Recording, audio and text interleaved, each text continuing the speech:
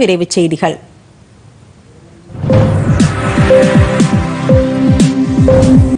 காந்தியடிகளின் சிந்தனைகள் மற்றும் எண்ணங்களை அடுத்த தலைமுறையினருக்கும் எடுத்துச் செல்ல வேண்டும் என்று காந்தியடிகளின் பேத்தி தாரா காந்தி பட்டாச்சாரியா அறிவுறுத்தியுள்ளார். காந்தியடிகளின் அரையாடை புரட்சி நூற்றாண்டு விழா மதுரை காந்தி அருங்காட்சியகத்தில் நடைபெற்றது.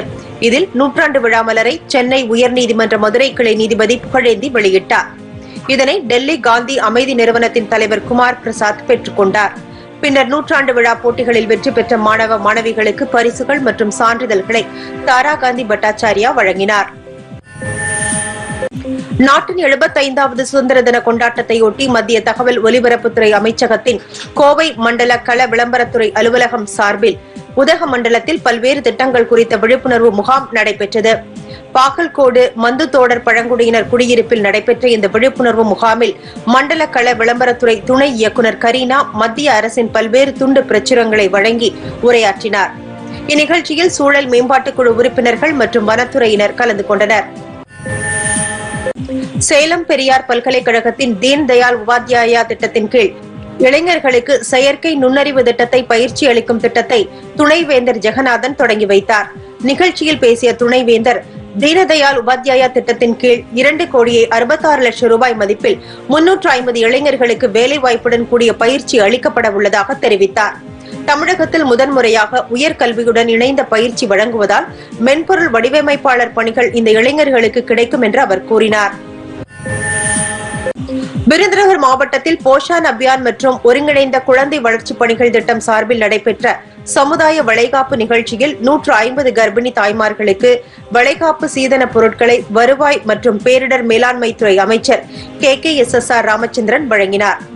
சமூக நலன் மற்றும் உரிமைத்துறை மற்றும் ஒருங்கிணைந்த குழந்தை வளர்ச்சிப் பணிகள் திட்டம் சார்பில் மாவட்டத்தில் இரண்டாயிரத்து முன்னூற்று ஐம்பது கர்ப்பிணி தாய்மார்களுக்கு வளைகாப்பு சீதன பொருட்கள் வழங்கப்பட உள்ளது.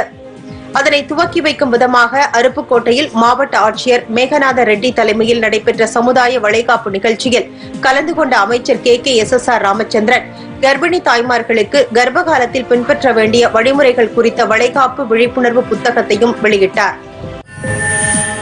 தமிழகத்தில் முதன்முறையாக திருவண்ணாமலை மாவட்டத்தில் நடைபெற்ற வருவாய் மற்றும் பேரிடர் மேலாண்மை துறை நில உடைமை பதிவேடுகள் மேம்பாடு திட்டம் மற்றும் பட்டா மாறுதல் சிறப்பு முகாமில் ஐந்தாயிரத்திற்கும் மேற்பட்டோர் மனு அளித்தனர். மாவட்ட ஆட்சித்தலைவர் முருகேஷ் தலைமையில் நடைபெற்ற இந்த சிறப்பு முகாமில் பட்டா சிட்டா பெயர் திருத்தம் பெயர் மாற்றம் செய்ய வேண்டிய முப்பது ஆண்டுகளுக்கு மேலாக தீர்க்கப்படாத மனுக்கள் பெறப்பட்டன. சிறப்பு முகாமில் பெறப்பட்ட மனுக்கள் மீது வருவாய்த்துறை அதிகாரிகள் நேரடியாக விசாரணை மேற்கொண்டு ஒரு சில மாதங்களில் தீர்வு காணப்படும் என அதிகாரிகள் தெரிவித்துள்ளனர்.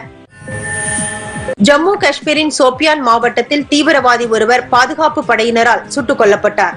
சித்ரகாம் பகுதி அருகே உள்ள கேஷ்வா கிராமத்தில் இன்று காலை பாதுகாப்பு படையினர் நடத்திய தேடுதல் வேட்டையில் தீவிரவாதி ஒருவர் கொல்லப்பட்டதாக தெரிவித்த அதிகாரிகள் அவரிடமிருந்த துப்பாக்கி மற்றும் வெடிமருந்து பொருட்களை கைப்பற்றியதாகவும் கூறினர்.